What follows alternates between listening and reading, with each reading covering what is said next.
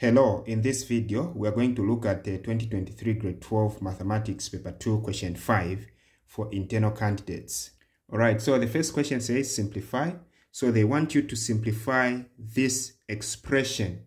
So to simplify means something is looking big and they want you to reduce it. All right, let's just rewrite this expression. So the expression is 10p cubed q to the power 4 over 8m to the power 4 n squared divided by 25 p to the power 4 q to the power 3 over 4m to the power 4 n squared. Alright, so for you to reduce this, first of all, you can see that this expression is made of two fractions. You have this fraction and this fraction and there's a division symbol here. So whenever you have this scenario, uh, in order for you to simplify this, it means you need to apply the rules, the same rules that we apply when dividing fractions. So the rules are keep, change, and flip. So these are the rules that we apply when dividing fractions. So we are going to keep the first fraction. So we have 10 p cubed q4 to the power 4, then 8m to the power 4, n squared. Then change. What are we changing? We are changing the division symbol to multiplication.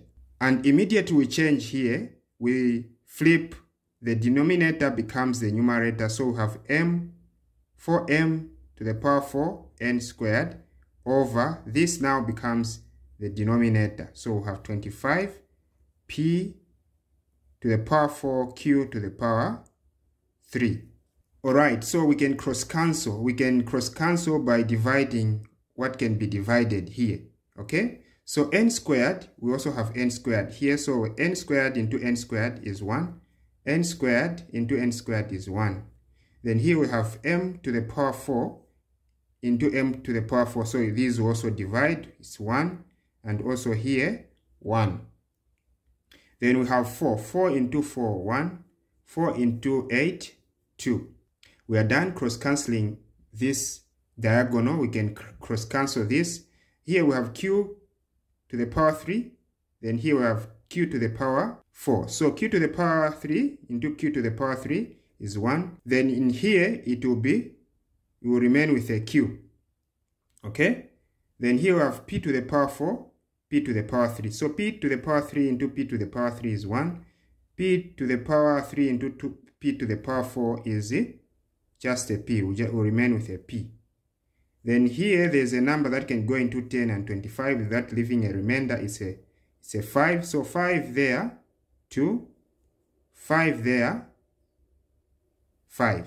Then here we can divide. We have 2 into 2, 1. 2 into 2, 1.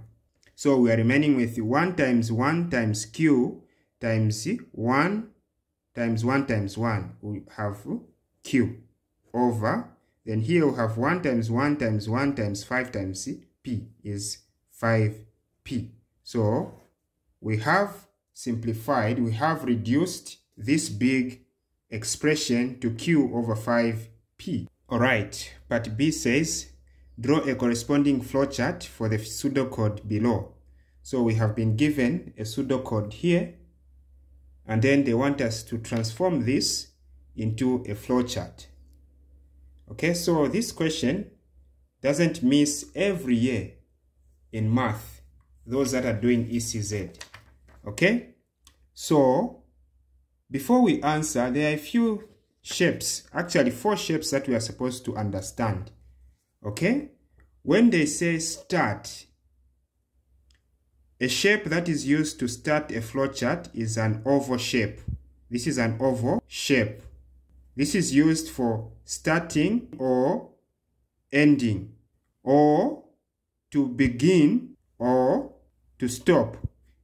Okay? So this is the shape that is used at the beginning. Alright, so the next shape that you're supposed to know is the parallelogram. A parallelogram is used for entering, to enter, or to display, to enter or to display the answer or to output. Okay, this shape is the one that you are going to use for you to enter the information or to feed the computer the information or to display or to output. Okay, to show the output, meaning to show the result. The next shape that you are supposed to know is uh, the diamond. The diamond looks like looks like this. So this is called the decision box because this is where the computer makes a decision. Okay, so like for example here, if S is less than E, then, so this is where the computer will make a decision and then for the flow chart, you are supposed to use, when you reach here, you are supposed to use a diamond. Then the last shape that you are supposed to know is the rectangle. The rectangle is also called the instruction box because if you have any formula, any formula, this is where you, you input. This is where you feed your formula. Okay, so for example, here we have uh, the formula here, probability is equal to E oval S. So probability, we are going to say P is equal to E slash S. All right, now let's go ahead and transform this pseudocode into a flowchart. So start, we are going to have start and over shape. So we have start, then enter. We said the shape that is used to enter the information or to display or to input the information is a parallelogram. So you draw an arrow like this and then draw a parallelogram like this. Then you say enter. What are you entering? You're entering ES. ES. All right. Then from there, another arrow. After you've entered this ES, the computer must make a decision. So meaning the next uh, shape that you are going to draw is a, is a diamond. So you draw a diamond so that the computer makes a decision. So for the decision, you have two answers. Okay, the decision, where are you supposed to put the decision? Here, where it's saying if S is less than E. If. So if, meaning need, there's need for a decision. So now we are going to ask the decision box to say, is S is S less than E? Is S less than E? You ask with a question mark. Then you have yes. If it's yes, you have yes and then here you have no okay? So if yes here on the flowchart if yes so they are saying if s is less than e then display error message. So meaning if s is less than e then that's why we have written yes then you have to display the error message. So the shape that is used to display for displaying information is a parallelogram. Okay, a parallelogram.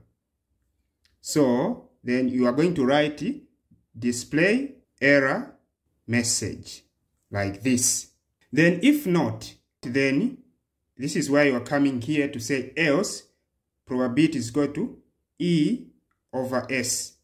So you can see that this is a formula and the shape that is used to feed the computer a formula is a rectangle. So meaning the next shape that you're going to have here, you have a rectangle like this. Then you need to feed this rectangle a formula which is probability is equal to E over S. So probability, because of space, you just write P is equal to S. Sorry, is it? It's E. It's E over S. Don't write the over, the one that is horizontal like this. The computer will refuse, but write a slash. Okay? Then after that, you have end if. You are ending the program now. Um, but we'll skip this. We'll say display the probability. Okay, so we're going to write this in a certain shape.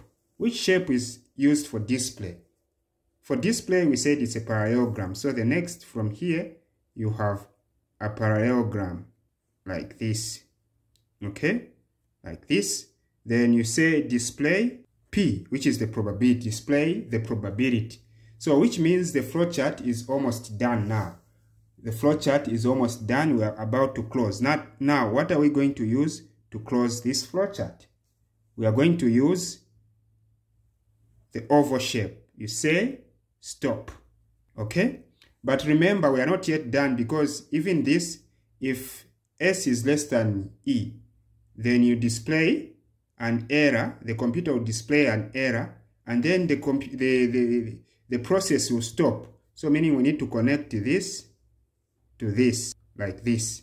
Alright, so that's how you transform a pseudocode into a flowchart by understanding various, the meaning of various shapes. Thank you very much for watching. If you are new to this channel, please consider subscribing, hit the like button, comment and share.